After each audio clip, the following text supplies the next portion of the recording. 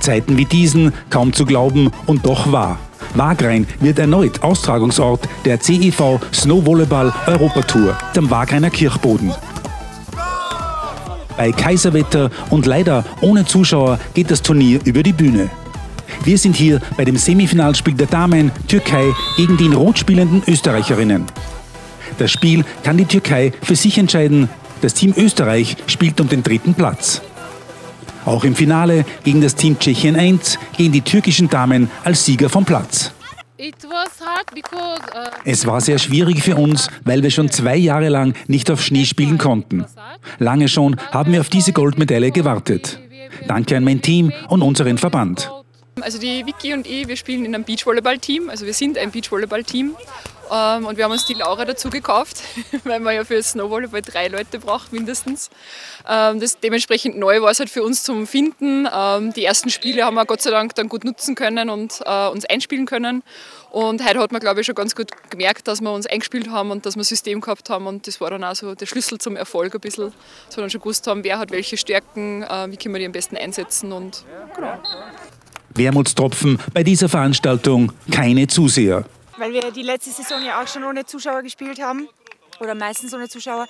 Und es geht schon irrsinnig ab, weil es einfach voll motiviert, wenn da draußen jemand ist, der schreit und mitfiebert. Auf zwei gewonnene Sätze wird gespielt. Bei den Herren treffen im ersten Semifinale die Teams der Ukraine und Österreich aufeinander, dass die heimische Mannschaft gewinnt und somit im Finale steht. Das zweite Semifinale geht an Russland, das somit gegen Österreich um die Goldmedaille kämpfen wird.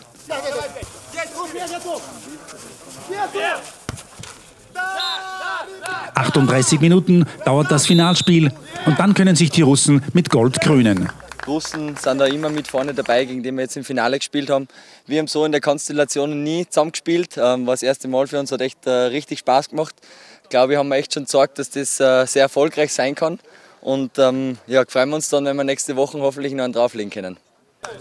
Aber auch ohne Publikum macht das Spielen Spaß. Ich glaube, als Spieler wünscht man sich nichts mehr, als zu Hause vor dem Heimpublikum spielen zu können. Es ist schade, aber ich glaube, in dieser Situation sind wir einfach froh, dass es wieder mal Turniere gibt, wo wir spielen können und sind einfach glücklich, dass es was gibt.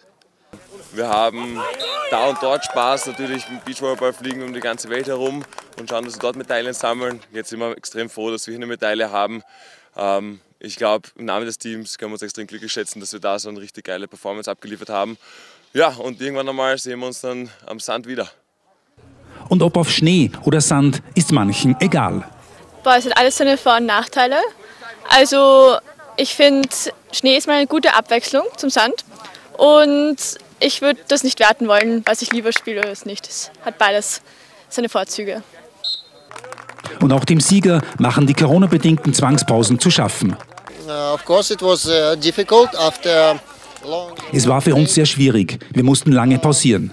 Es ist für alle Teams das erste Turnier seit langem. First tournament in this year for all teams, for all of the world. Noch an zwei Wochenenden wird in Wagrain um Stockerplätze gekämpft. Am letzten Februarwochenende der zweite Teil der Europa Snow Volleyball Tour und eine Woche später die erste österreichische Volleyballverbandsstaatsmeisterschaft.